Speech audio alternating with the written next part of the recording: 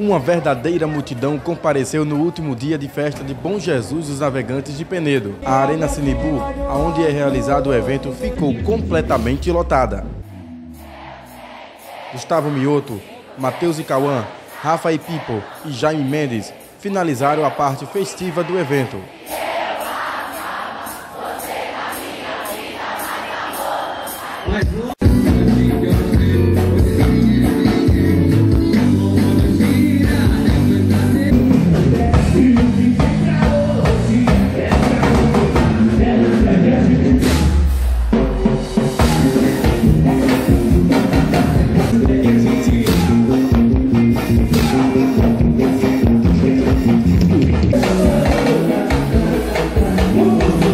A secretária de Cultura, Aline Costa, agradeceu a todos que fizeram parte para a realização do evento.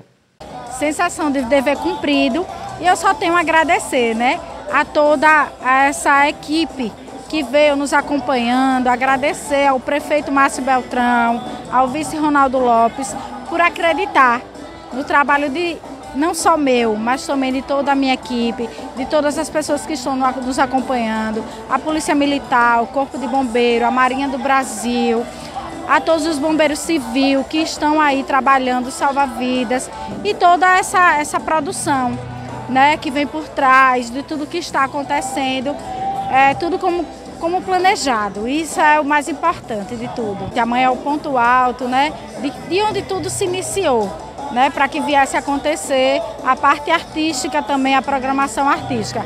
Iniciou com a parte religiosa, são 136 anos de fé, devoção e foi produzido a diversão, né, que é o que está acontecendo hoje, mas amanhã é o ponto alto.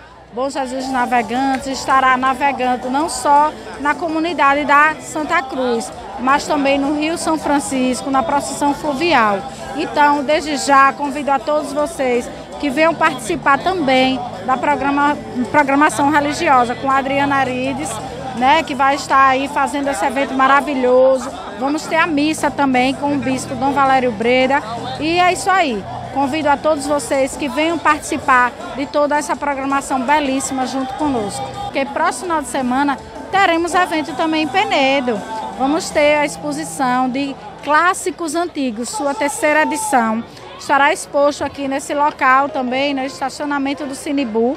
Quem também compareceu ao evento foi o governador de Alagoas, Renan Filho, que também parabenizou a toda a equipe da prefeitura e registrou presença no domingo ponto alto do evento, com procissão fluvial nas águas do Velo Chico e com a imagem de Bom Jesus dos Navegantes.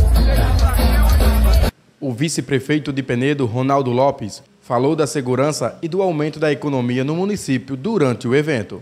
Ver que vêm pessoas de vários estados, de Sergipe, da Bahia, né, de Pernambuco, de outras regiões mais distantes, e se transformou nesse grande evento que nós estamos vendo hoje. É, nós estamos é, é, no terceiro dia né, de, do evento. Vários artistas nacionais já se apresentaram aqui em Penedo, né, e com essa multidão toda é, brincando, com muita alegria, muita tranquilidade, muita paz, muita segurança. Né? Você vê uma festa com, com uma multidão dessa, né, tão grande assim, e você não vê acontecer nenhum, nenhum fato né, de violência, de coisa assim.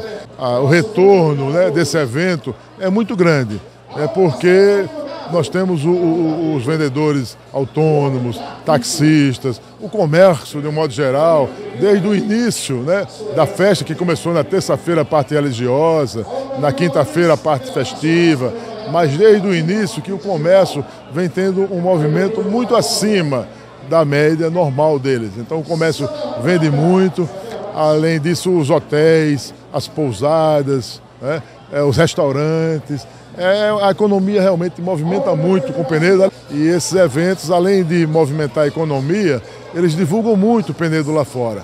Como vocês estão fazendo durante todos esses dias, vocês estão filmando a festa, vocês estão entrevistando as pessoas e, estão mostrando a a, lá fora o que Penedo tem de bom. Agradeço a vocês e obrigado por tudo, toda a cobertura que vocês estão fazendo dessa festa do Bom Jesus dos Navegantes.